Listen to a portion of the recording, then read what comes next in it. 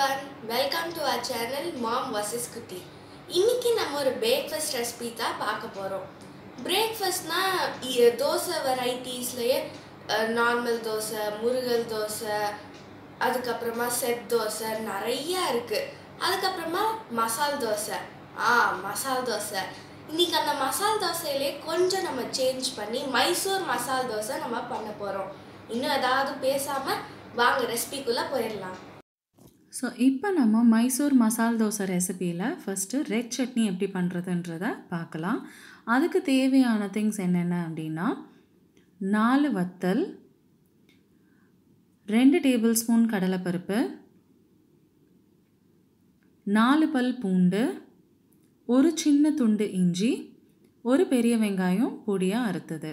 இப்போ இது எல்லாத்தையும் ஒரு ஃப்ரைங் பேனில் கொஞ்சமாக ஆயில் ஆட் பண்ணி நல்லா நம்ம ஃப்ரை பண்ணி எடுத்துக்க போகிறோம்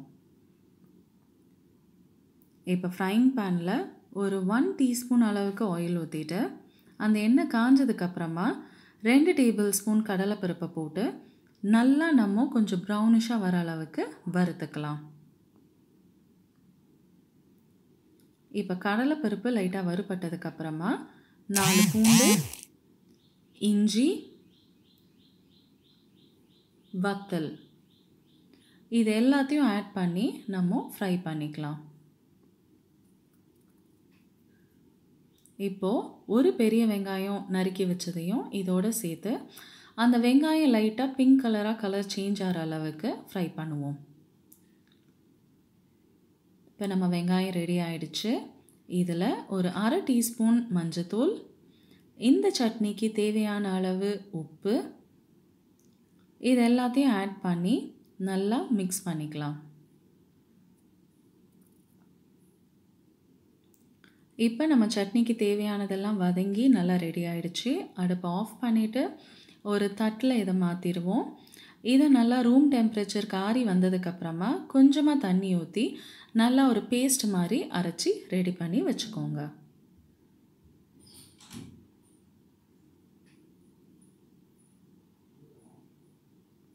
அடுத்ததாக நம்ம உருளை மசால் ரெடி பண்ண போகிறோம் அதுக்கு அதே ஃப்ரைங் பேனில் கொஞ்சமாக ஆயில் ஆட் பண்ணிவிட்டு அதில் ஃபஸ்ட்டு நம்ம கடுகு கொஞ்சமாக போட்டு தாளிக்க போகிறோம் ஒரு டிஷ்ஷோட டேஸ்ட் எப்பயுமே அந்த கடுகு பொரியறதை வச்சு தான் நமக்கு என்ஹான்ஸ் ஆகும்.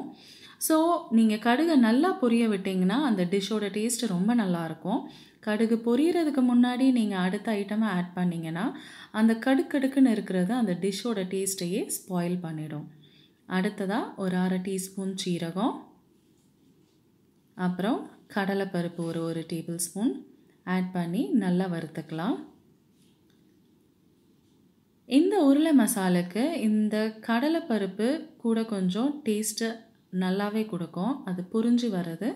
அதனால் அதையுமே நல்லா எண்ணெயில் பொரிய விடுங்க.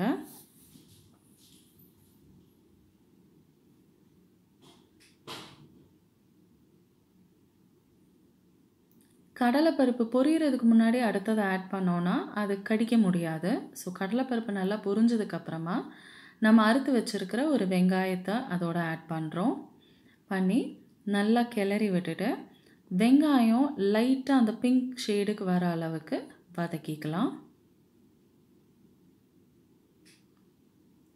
வெங்காயம் லைட்டாக நிறம் மாறிடுச்சு இப்போ. இதோட ரெண்டு பச்சை மிளகா ஒரு சின்ன துண்டு இஞ்சி நல்லா பொடியாக அறுத்து வச்சுருக்கேன். அதை ஆட் பண்ணிக்கலாம். அப்புறம் கொஞ்சம் கருவேப்பிலை. இது எல்லாத்தையும் ஆட் பண்ணி நல்லா மிக்ஸ் பண்ணிக்கலாம். இது கூட இப்போ ஒரு நாலு உருளைக்கிழங்க வேக வச்சு தோலை உரித்து லைட்டாக மசிச்சிருக்கு. அதையும் இதோட சேர்த்து ஆட் பண்ணி நல்லா கிளறி விட்டுக்கலாம்.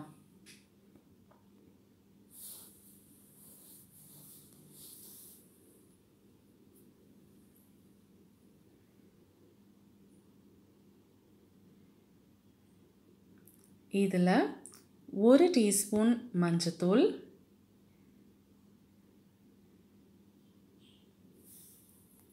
அடுத்ததாக இந்த உருளை மசாலுக்கு தேவையான அளவு உப்பு. இது ரெண்டையும் ஆட் பண்ணி நல்லா ஈவனாக இது மிக்ஸ் ஆகிற அளவுக்கு கிளறிக்கிட்டு ஒரு ரெண்டு நிமிஷம் இதை ஃப்ரை பண்ணலாம்.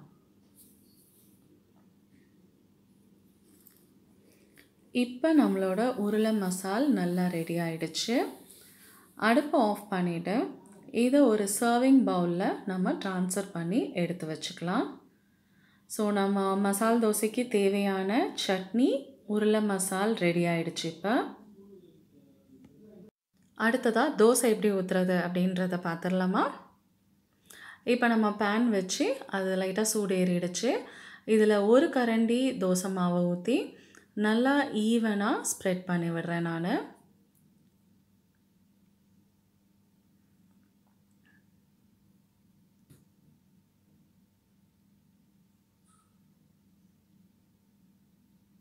அடுத்ததாக இதில் ஒரு ரெண்டு டீஸ்பூன் நெய் சுற்றி ஊற்றுறேன் நீங்கள் வேணும்னா ஆயிலும் யூஸ் பண்ணிக்கலாம்.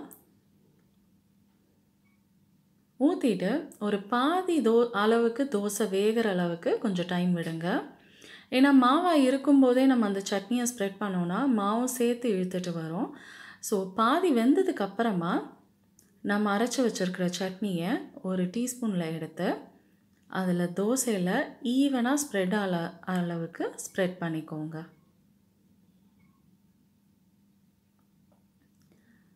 எல்லா இடமும் படுற மாதிரி பார்த்து ஸ்ப்ரெட் பண்ணி விடுங்க.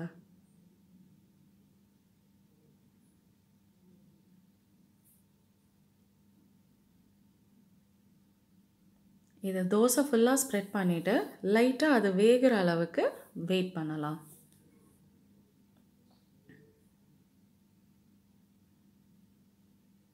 இப்போ நம்ம தோசை ஓரலாக நல்லா முருகலாக வெந்துருச்சு.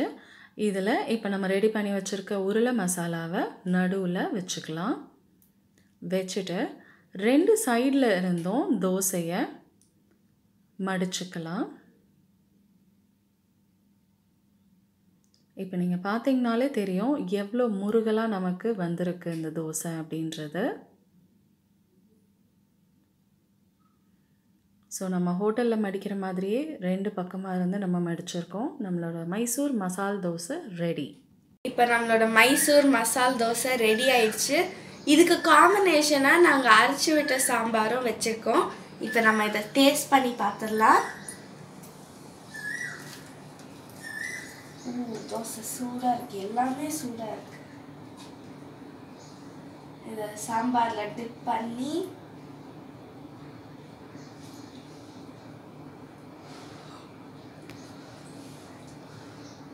செம்ம சூடாக இருக்கு.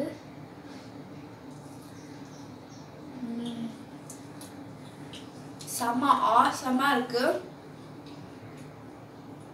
அந்த பொட்டேட்டோ செம்ம சூப்பராக ப்ளஸ் அந்த சட்னியோட அந்த காரம் அண்ட் அந்த பொட்டேட்டோட டேஸ்ட் சூப்பராக இருக்குது இதை கண்டிப்பாக நீங்களும் உங்கள் வீட்டில் ட்ரை அவுட் பண்ணி பார்த்துட்டு எப்படி இருந்ததுன்னு கமெண்ட் பாக்ஸில் எங்கக்கிட்ட சொல்லுங்கள் எங்கள் சேனலுக்கு சப்ஸ்கிரைப் பண்ணாதவங்க சப்ஸ்கிரைப் பண்ணுங்கள் அப்படியே அந்த பெல் நோட்டிஃபிகேஷனையும் கிளிக் பண்ணுங்கள் இந்த வீடியோ உங்களுக்கு பிடிச்சிருந்ததுன்னா லைக் பண்ணுங்கள் ஷேர் பண்ணுங்கள் கமெண்ட் பண்ணுங்கள் அடுத்த வீடியோவில் பார்க்கலாம். பாய்